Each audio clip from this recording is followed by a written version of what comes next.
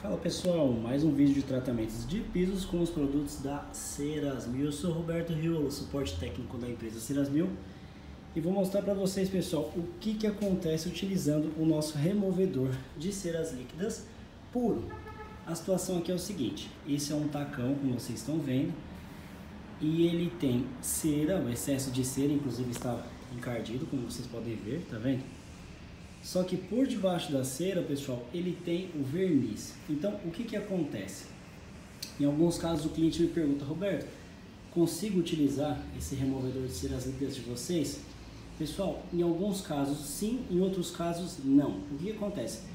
Neste piso, eu cheguei a fazer um teste com o nosso removedor, cheguei a diluí-lo, um litro do removedor para 7 litros de água e mesmo assim ele agrediu o verniz, ele acabou desplacando o verniz. Então, não tive alternativa nesse caso e fiz a, a remoção total. Quer ver? Vou mostrar para vocês. Fiz a remoção total da cera e do verniz. Então, o piso parece que ficou lixado, certo? E utilizando esse nosso removedor de ceras líquidas. Aí as pessoas perguntam, Poxa, Roberto, mas então esse removedor, ele é um removedor de verniz? Não, pessoal, ele não é um removedor de verniz. Mas em alguns casos, ele acaba removendo. Então, assim, o que, que eu peço inicialmente para as pessoas fazerem um teste, né? Façam um teste com um removedor puro, né? Em alguma região onde, onde possa, possa danificar, no caso, né? E, e não venha aparecer, justamente para a gente saber se vai danificar o piso ou não. Em alguns casos, eu sempre indico a raspagem, em outros casos, eu indico a remoção da cera líquida. Se esse piso fosse sintecado, poderia utilizar o nosso removedor de ceras líquidas puro. Você ia fazer a remoção total da, da cera, o sinteco ficaria intacto e aplicaria somente a cera líquida. Sendo verniz, ele acabou saindo tudo, ou até mesmo se fosse um bona, ele também sairia, entende? Então, o que, que acontece? É interessante vocês sempre fazerem um teste antes, porque pessoal, começar a aplicar o nosso produto Ó, vocês já começam a ver que já saiu a cera, né? Aplicar o nosso produto, o nosso removedor de ceras líquidas das ceras mil no piso e de repente a pessoa não conseguir fazer a remoção total, é complicado, certo? Então, por isso que é interessante vocês fazerem um teste antes. Ó, não sei se vocês conseguem notar, mas ele já começa a avermelhar o, o verniz. Estou mostrando isso aqui para vocês porque isso aqui é o disco da enceradeira industrial, certo? No caso eu estou fazendo um teste mostrando para vocês, né? Então, é como se ele estivesse agindo por algum tempo, correto? Olha lá. E aqui ele começou a vermelhar, eu já notei que ele chegou no verniz. Olha lá. Então é assim, por que, que é interessante a pessoa fazer um teste? Ah, Roberto, mas eu queria remover todo o verniz. Ok, tente, pega o produto, faça um teste, veja se ele vai conseguir arrancar esse verniz e vamos lá. Ó, esse amarelinho aqui, ó, é o verniz, pessoal. A cera já saiu, certo? Olha lá. E o que está saindo agora, neste momento, é o verniz. Olha lá.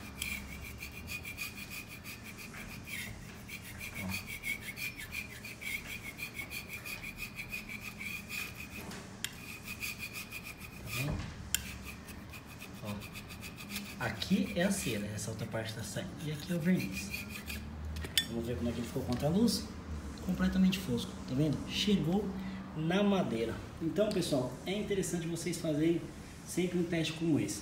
Se fosse sinteco, o que, que ia acontecer? Eu ia passar o produto, ele não ia mudar de tonalidade, ele ia continuar claro. Eu ia passar a espátula e ele ainda ia continuar com acabamento brilhante. Se fosse o Bona, ele ficava completamente escuro, saía um líquido bem escuro. Como é o verniz, eu raspei com a espátula e ele saiu umas plaquinhas, tá vendo? Ó. E agora vocês vão notar que ele vai ficar mais escuro ainda. Ó, joguei o removedor. E agora, possivelmente, já não vai sair mais nada.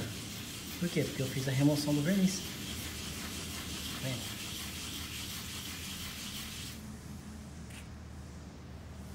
Vamos ver se vai ser alguma coisa. Ó. Nada, pessoal. Nada de nada. Por quê? Porque já chegou no verniz, tá vendo? Já chegou na madeira, desculpa. Ó. Tá vendo? Esse meio onde eu fiz, nada. Agora sim, o restante, se eu passar, ó, a espátula, ele acaba tirando. Ó, tá vendo como o verniz sai? Essas são umas placas. Tá vendo? Agora eu vou passar o pano para vocês terem uma ideia. Ó, o pano fica amarelado porque o verniz era amarelo, né? Lá, tá vendo? Madeira completamente crua. Chegou na madeira. Bom, é exatamente o que aconteceu neste piso aqui, ó. Olha lá. Remoção total feita. Nesse caso, pessoal, o que eu vou fazer? Utilizar a nossa cera de carnaúba para hidratar, correto? Vou usar ela para fazer a hidratação desse piso. Depois vou finalizar com a nossa cera de alto brilho. Bom, esse vídeo é especialmente para as pessoas entenderem o que pode acontecer com o removedor de ceras líquidas das ceras mil aplicado em um piso que tem verniz, certo? Então, pessoal, sugiro que faça o teste. Alguns vernizes suportam esse removedor. Outros vernizes, como vocês viram, saem tudo. Agora o Bona, ele de qualquer forma, ele vai sair inteiro. Já ouvi dizer que o Scania é um produto muito bom, que tem uma resistência muito boa, principalmente com o nosso removedor também mas eu deixei por mais de meia hora ele chegou também a agredir, enfim. Então pessoal, é só para vocês terem uma ideia. Pessoal, em todos os vídeos postados aqui, eu sempre ponho nossos telefones fixos, o endereço da loja física e o link do WhatsApp de cada setor. Sugiro que entre em contato primeiramente comigo, Roberto Riolo, suporte técnico da empresa Ceras Mil, justamente para vocês me mandarem algumas fotos, alguns vídeos e fazer uns testes para a gente entender exatamente o que tem no seu piso de madeira. Tudo bem, pessoal? Então, eu aguardo o seu WhatsApp com as fotos, vídeos e localidade. Caso queiram um orçamento também, posso enviar para vocês um orçamento de prestação de serviço. Obrigado, pessoal. Aguardo o seu WhatsApp.